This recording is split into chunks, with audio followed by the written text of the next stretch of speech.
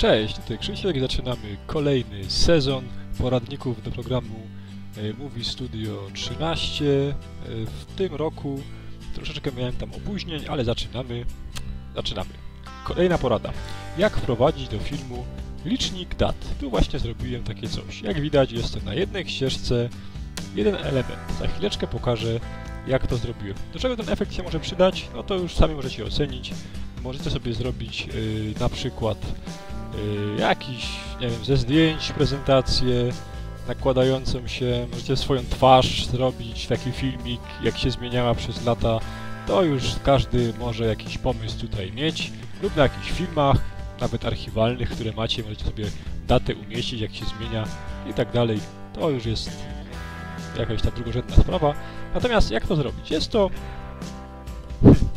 Nie jest to takie trudne, ale pokażę moją metodę, którą tutaj znalazłem. Więc tak, na początek skasuję to. Wybieramy sobie naszą ścieżkę wideo. Na tej ścieżce wideo musimy dodać pewien efekt. Yy, Nie musimy go od nowa tworzyć. Yy, Przechodzimy na zakładkę generatory mediów i tutaj szukamy teraz yy, napisów końcowych. To jest to. To jest to, co wykorzystamy. Oczywiście będziemy to modyfikować. To nie zostanie w takiej formie. To są takie gotowe elementy, które możemy zastosować yy, na zakończeniu filmu, które mówią na przykład, kto był yy, aktorem, kto występował, tak dalej, tak dalej, tak dalej. To jest znane na przykład z filmów, to każdy wie o co chodzi. Natomiast my tu wykorzystamy, o, na czas znikanie.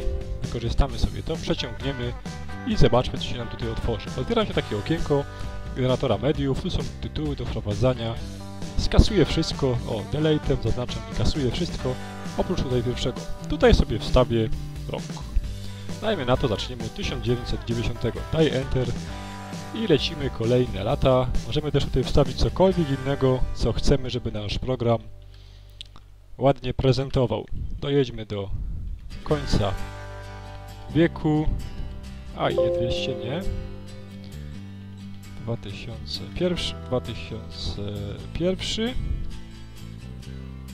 rok 2000. Dobrze, mamy to. I teraz co się dzieje? Kiedy to puszczamy, puścimy sobie ten projekt, tak to wygląda. No, nie do końca nam o to chodzi, ale już jesteśmy prawie w domu. Prawie, prawie, prawie.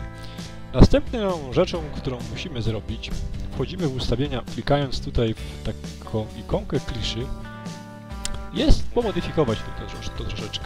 Tutaj wybieramy sobie pozycję, możemy sobie to złapać, przeciągnąć w miejsce to, które chcemy mieć ten nasz licznik. Następnie dajemy parametry efektów. Tu jest wejście z ciszy, dajemy brak z brak i zobaczmy jak teraz to wygląda. O, już jest lepiej. Nie ma żadnej animacji, ja właśnie to wyłączyłem. Yy, To nie potrzeba animacji. Jest to tak skonstruowane, że animacja oczywiście jest, przechodzi kolejny numer, ale dla oka jest to absolutnie niewidoczne.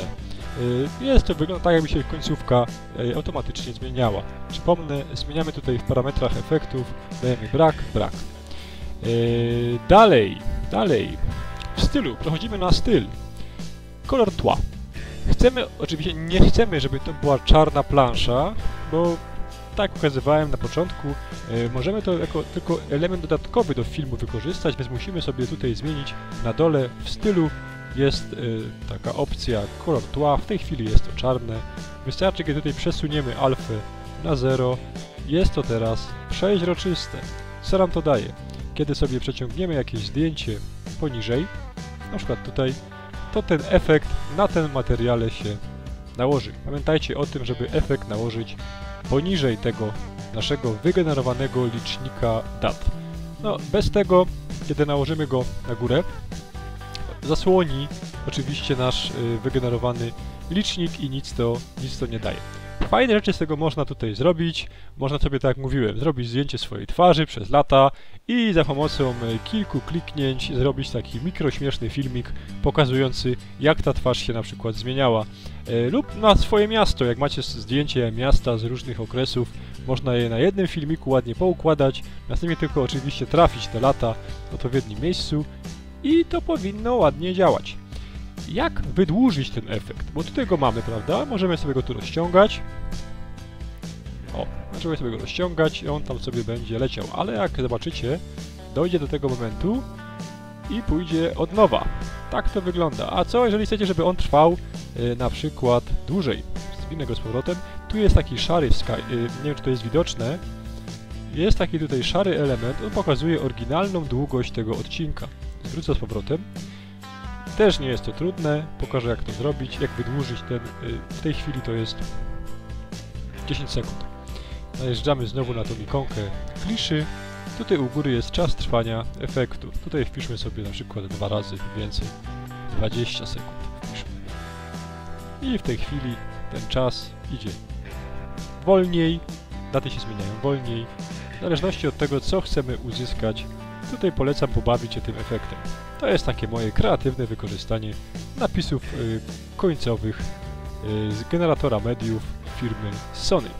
Generatory mediów, tutaj jest ten efekt. Hmm, to tyle. Mam nadzieję, że również ta porada się komuś przyda, a jak nie, to potraktujcie to jako taką ciekawostkę. Mam nadzieję, że filmik się spodobał. Tradycyjnie proszę o łapkę w górę e, i suby. Oczywiście suby od tych, którzy jeszcze mojego kanału nie subowali. E, dzięki za uwagę i pozdrawiam wszystkich bardzo serdecznie. Hejka, cześć!